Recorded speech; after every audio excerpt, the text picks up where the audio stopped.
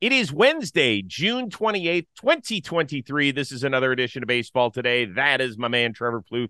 I am Chris Rose. Producer Rob Scirocco along for the ride as well today. We greatly appreciate it. We start off with a tip of the cap to two people. JD Martinez with two bombs and the Dodgers win out in Colorado. He joins the 300 home run club. Congrats to JD.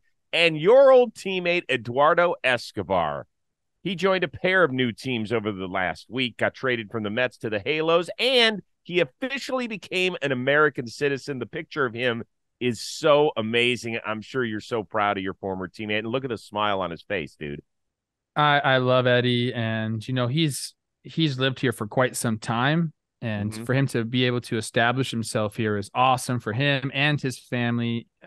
That's the thing I always tell people is you know when you hang around guys who aren't from the US. I know we have our troubles here in the country, but like talk to them about what they think about the United States. And like it's it's special when that happens and uh, I'm proud of him and you're right, two teams change is pretty cool. I hope uh, that they make the playoffs just so I can see him in the playoffs. Yeah. More than and Shohei he's, he's and Trout, a... I need to see Eddie in the playoffs. Okay, well, let's start it off by talking a little bit about Shohei because he just seemingly does something that wows us each and every day last night pitched into the seventh inning was awesome. Another double digit strikeout game. He had homered in his first at bat off of Kopech. And then, of course, he homered again later in the game. It's the first time in his career that he has had a multi homer game while being the starting pitcher. In your opinion, has he reached Patrick Mahomes, Steph Curry, LeBron hype train sort of area?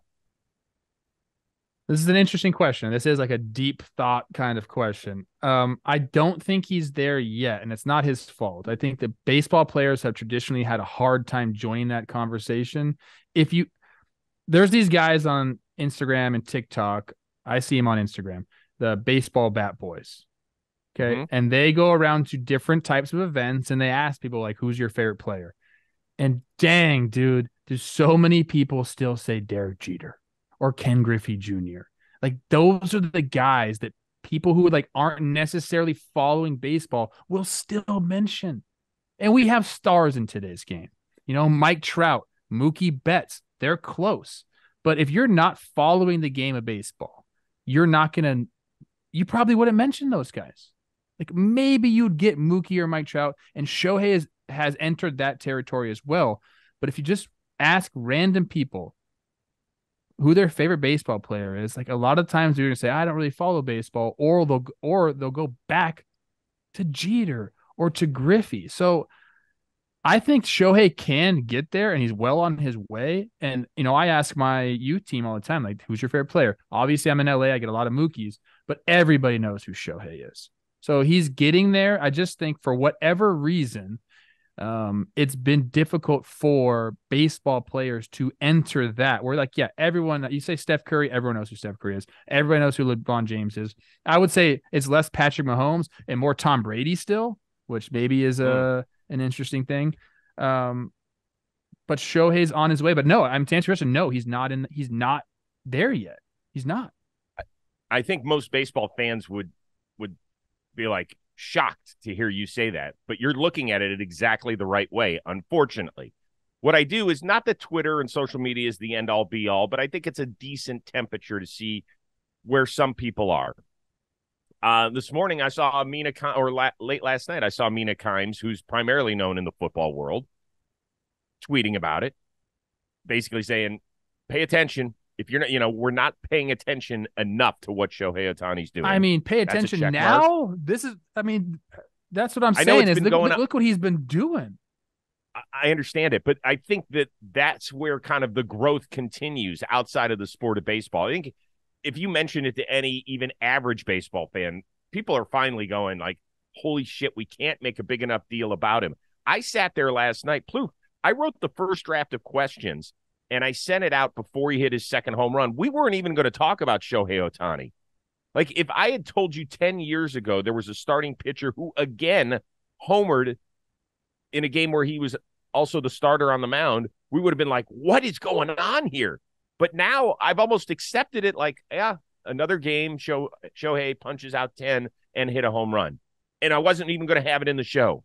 But then when he did it for the second time, I was like, damn, we got to do it. And people say we talk about Shohei too much. Dude, he's making us talk about him. This this show right here is what are the big topics each night?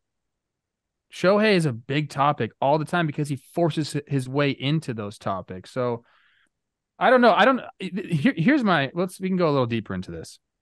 If New Balance doesn't come out with a Shohei sneaker that's like not baseball related, like give me a Shohei like streetwear type sneaker, please, because that thing will go nuts. Nike, I think, fumbled this huge. Hmm. If Nike came out and they had their Trout stuff for baseball and then they'd put a Shohei out, I think they could have just, I think it could, it could be like one of the next big shoes for them, but they didn't get them. New Balance got them. So now it's up to New Balance to do that. And I think stuff like that is what gets you into that, uh, you know, stratosphere of celebrity is when you have a shoe and it's not just baseball, it's outside of baseball. Shohei hasn't done a lot of stuff outside of baseball yet. If he decides to do that, then yes, I think he starts to enter that category. Mm-hmm. I think it's fair. I think it's all fair. But damn, man, particularly when he's pitching, you have to watch. Last last night he leaves with a cracked nail, and then we're freaking we're like, oh my god, what's going on? Because the when it first happened, we didn't know what the injury was. Then you heard crack nail, and then he freaking hits a home run. It's next to bat. It's sick, Nuts, dude. man. He's unreal. Um, so two of the Atlanta Braves. Ronald Acuna hit two of the five homers off of Joe Ryan. Um, Braves have won 12 of 13. They keep a six and a half game lead over the Marlins, who, by the way, banged out 19 hits in their W up at Fenway Park. Luis Arraez, another two knocks. He is hitting 399. If he hits 400 this year and the Marlins are in contention all year long, is he the NL MVP? Uh, okay. Do I think so? No, I don't. I think that I love, I love, I mean, it's incredible to watch him play, and, and 400 is something that, you know, we just never see, and especially in today's day and age, you just don't see that. Uh, it's going to be an incredible feat. Is he going to get a bunch of uh, what I give him like MVP consideration and love? Of course, but I think Acuna just impacts the game on so many different levels. I mean, how many stolen bases does this guy have right now? Like almost 40, right? What's what is it? Yeah, look it he's- Yeah, he got to 35 the other day. I haven't seen the last couple days. So he is yeah, at he- 35 stolen bases. So we're talking right now. He's got 19 homers and he's got 35 stolen bases. We're basically at the exact halfway point. We're talking about a 40 70 season. It's hard to beat Yeah, he- I that. mean- Pl- pl- Plus, he's playing Yeah, good he- he- defense. He could slow I down think a little bit. Acuna's slow down.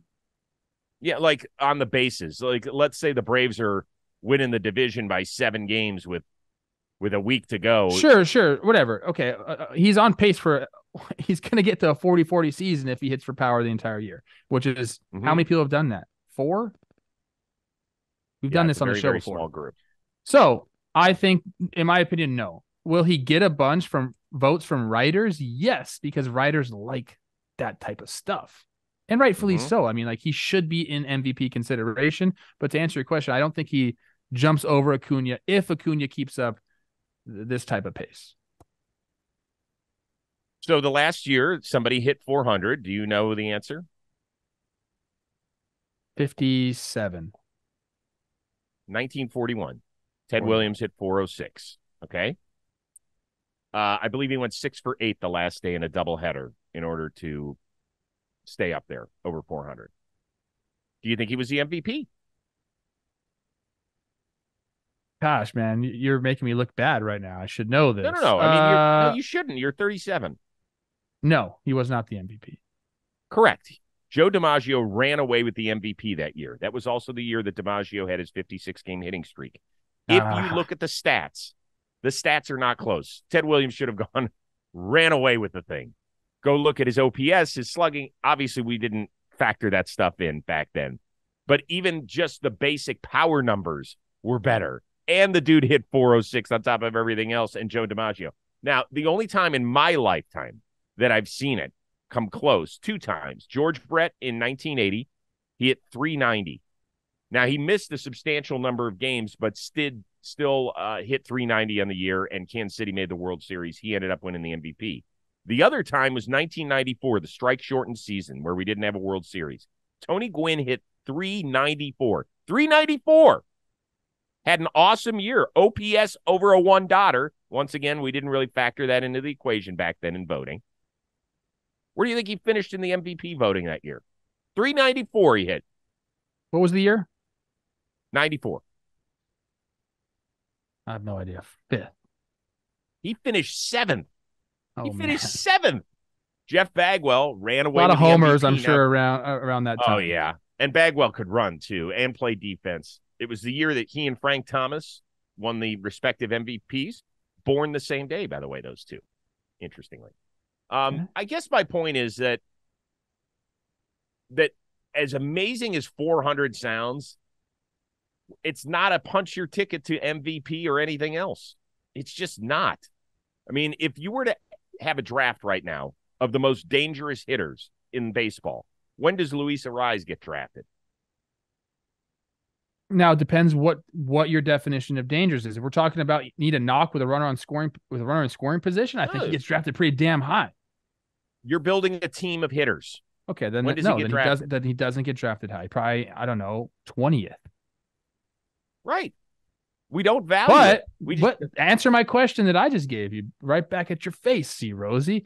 If you needed Uh-huh. a, a knock with a runner on second base, Mhm. you needed a single. When does he get drafted then?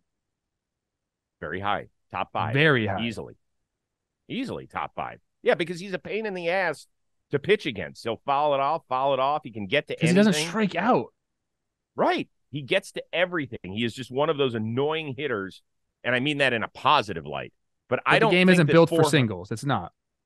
No, it's not. Not at all. Now he does have over, I think, a 900 OPS, doesn't he? I mean, uh, most of that is from singles.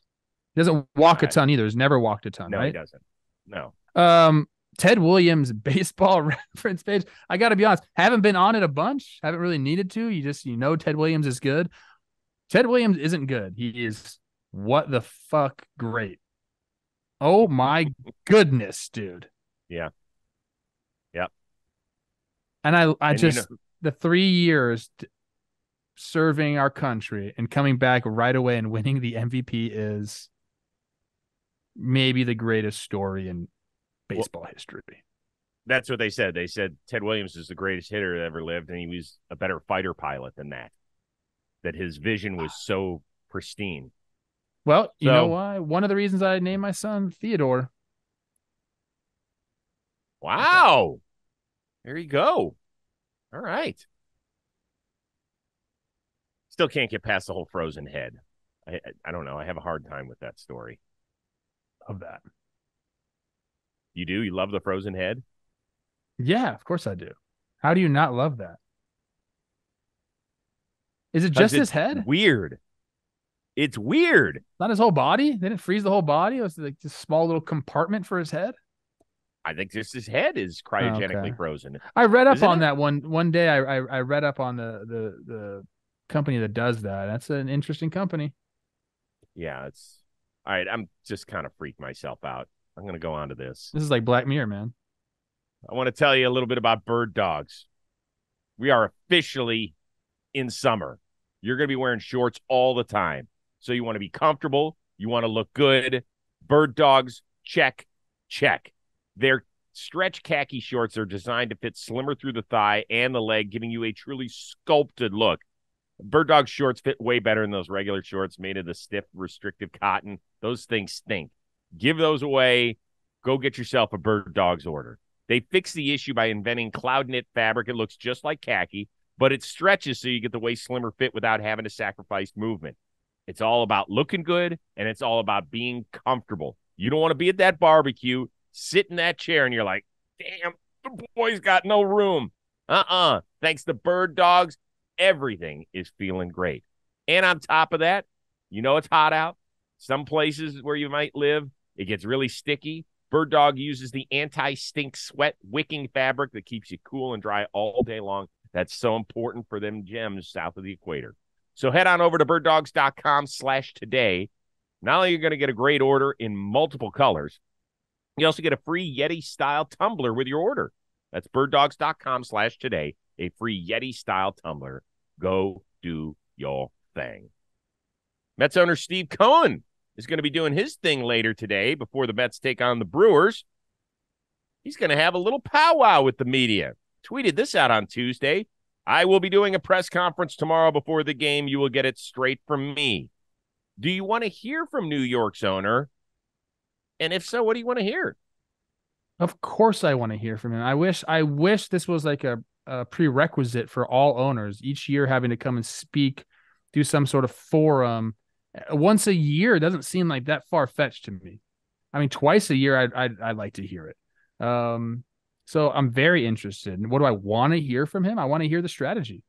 Like he's he's involved in these some of these decisions. I mean, I think he he runs the team that way where he wants to feel like he has some input and some say on what goes on. Obviously, he has the end all be all input, but like from a day to day operations standpoint, I feel like I don't know this for sure. I feel like he's probably wants to be involved some in some capacity. When he's feeling like it, he wants to be able to be involved. Um, so what do I want to hear? I I, I want to hear what the plan is going forward. If they think they can salvage the season, if they think they made some mistakes in free agency, if they think that um, you know they will sell or won't sell or add or not add, it's it's going to be fascinating. I, I hope he gets into some of that and not just you know some you know uh, vague you know talks about the team. If you come out and say, "Hey, hear it from me directly," then I hope you get into some some specifics. And I think he will. He's that. He, I feel like he's that kind of guy that he will get into to some of the specifics. Couldn't this backfire on him? I mean, if they're going to say, so does that mean you're not going to fire Buck Showalter? So now in the middle of a shitty season, he has to throw it down one way or another? Because if, let's say he says, hey, I'm not making any changes, and let's say another month goes by and they still stink and he ends up firing Buck, then what? I think that there's ways to word all of uh, his answers that he's probably been prepped with. You know, he knows he's going to get then some of those questions. Of having this, well, I mean, I think he wants to be accountable. He wants to be a new age owner. That's what I think. Like he wants he, to be he wants his name and his face associated with the Mets. We talked about this, man. Like this is what guys buy these teams nowadays, a lot of the times they want to it's it's social status for them. And I think Steve Cohen wants to be that for this team and in a positive manner. So will he have some pre-written answers 100% these guys like this don't go unprepped and just say whatever you want to ask me ask me like i'd assume there's probably some topics that are off limits for this press conference and they're probably going to tell people that so you know we're not going to get like the entire truth what do you mean you don't think that happens dude you cannot tell the new york press you can't ask them about this that, that i'm telling you dude that doesn't work in milwaukee let alone in new york it it happens. It happens, and he can also say, "I'm not going to comment on that. Not that's not for today." That's fine. He can he can say whatever he wants. His answers can be fine. The question thing is is ridiculous. Um, I have said many times, particularly when talking about Fisher, the owner out in Oakland. I I have come out on the show and said it twice a year. The ownership in all sports should have to meet with the media, beginning of the season, end of the season. I don't know what this is going to accomplish in the middle of the year. I think, if anything, it's going to make it worse because now the players who have had a bad enough season anyway, and most of those Mets have stood in front of their lockers and been accountable. It doesn't make Mets fans feel any better because the, the play's been so poor, but they they haven't turned and hid. Okay. Now they're going to be having reporters all around their locker, win or lose tonight, talking about what Steve Cohen said. Would you want to answer for what your owner said? You got enough shit going on. You you tell me. I think that's just part of the gig, bro. You may not like it, uh, depending on what he says, or you may really like it. You know, like it's it just depends on what he says, but it is part of your job to go out there and like he is your boss. Like mm-hmm. that's your boss. So, you know, you were everyone's stoked when Cohen came in and spent a bunch of money and he's really revamped that franchise seemingly uh, quickly. Uh, so like I don't I, as a player I don't think I'd have a problem. I, would be curious to hear what he's going to say. Yeah, And- no, and I am who- and- curious. And, who's to say he's not in the locker room already? I mean, uh, the Pohlads Mm-hmm. uh, were not in the locker room too often. He said that we, that was not my space. He'd be out on the field for BP quite frequently. And you know what? I was one of the only guys that would go talk to him. I wasn't scared of him. I liked it. I I thought that it was cool to talk to the the boss. Uh-huh. And you know, I, he liked me because of it. Maybe that's why I'm able to do all these things that the legends get to do. It is. Um, so like I I have maybe a different perception on that than than most people. And again, I never even had a long term deal. I fought every freaking day for what I had. So I'm excited to hear what he has to say. Whether whether it's vague or not, I don't really care. I think it's nice that maybe he'll set a precedent that maybe other owners like maybe oh, maybe I'll do that. Well, I think it will be fascinating. So, from the outside, I think that Steve Cohen has done a remarkable job. I mean, he's been everything you would want in an owner. He spent money. Some people say in the wrong direction, but man, at the beginning of the year, we were all excited. Very few of us were like, oh man, this is just ain't going to work. We were all like, God, we can't wait to see. So, he's talked about wanting to build the Dodgers East. Obviously, their farm system needs to continue to grow if they're going to follow that pattern. Um, but I think he's done a great job. It's just I don't know what if I were a Mets fan today, what do you want to hear from him? Up, hey, uh, Eppler and uh, Buck are out, and uh, we are going to change direction today. Like that's the only time you'd ever hear from an owner during the season. I think. You know what he's gonna say? Players got to play better. We put this roster together. There's some guys here underperforming, and like But we know bottom line is, I know, but that's what he'll say, and I think that's fair for him to say that. I think what fans want to hear, if you're a Mets fan, is we're not giving up on this season. We're not going to be trading guys away. Okay, that's fair. I guess that that yep. Well, whatever it is, we're going to be talking about on tomorrow's show because owners just don't meet with the press unless they're making personnel changes during the season, and even then, they don't always show up. Alek Manoah showed up for his first start in the Florida uh, Complex League. It was not good. Two and two thirds, eleven earned, ten hits, three Ks, two walks, two homers allowed. Is this as alarming as it appears? It is not. It is not. Now, like what he had done at the major league level, like that means so much more than what happens at, you know, the Florida Complex League. And I can give you a million examples of pitchers who hated going onto the backfields and pitching during spring training because it's not the at bats are not approached the same as they are in the big league game. A lot of guys trying to ambush your fastball. Who knows what he was working on here? He could have had they could have told him, You're not throwing any off speed pitches. We're just trying to locate a fastball today. That happens all of the time. So, without any specifics, like I don't, I, I didn't get the scouting report on his pitch mix or anything from the Florida Complex League, but the at bats are different. Guys are young dudes coming up there, very aggressive, trying to take your head off. They're swinging all the time. Um, and again, we don't know what he was working on. He could have been working on one side of the plate. He could have been working on only breaking balls. He could like there's just so many things that just are not real essentially. They're not real at bats when you start to do this. And that's what they're they don't care about the numbers down here. All they want to see is him work on what he needs to work on, whatever that is. So yes, it's it's eye popping to see the numbers and it makes for a good social media post and people are going to talk about it and the people that don't like him are going to be like, "Oh, look at that. Ha ha ha." But in reality, pitchers, big league pitchers just don't like going to do that because it's just not real real at bats. So you can't really give credence to stat lines. We both picked Alek Manoah to win the Cy Young. Yeah, Tough. that didn't work out so well. Do you think that he pitches this year in the bigs?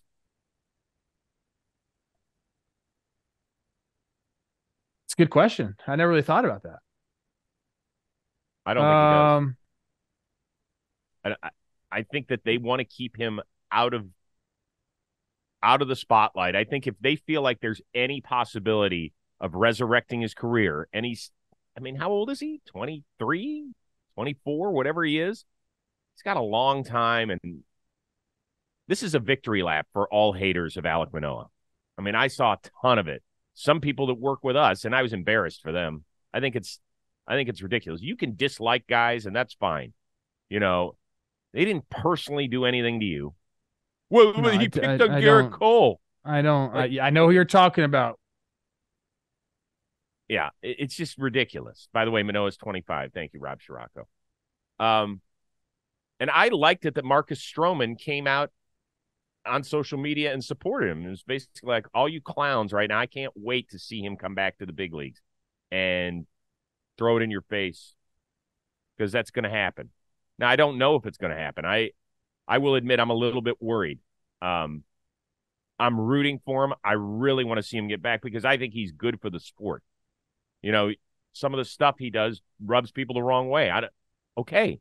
I think it at heart he's a good kid. I've talked to teammates of his and former teammates. Yeah, what I don't even know why he rubs people the wrong way. Just because like there's so many guys who are super confident and and competitive. Like that's what you want in a starting pitcher. Right. Well, we did have the Verdugo incident where where he he came out on a podcast and said, you know, he shouldn't be talking shit to our guys. I'm sure you would have felt the same way if you were in that Boston dugout and he was doing it. It happens. It, but do you know how many that, that happens all the time? Right. It's it's competitive nature and it's it's a, a, lot of things that go into that. Like, yeah, you might get mad for a second, but that doesn't mean he's a bad person.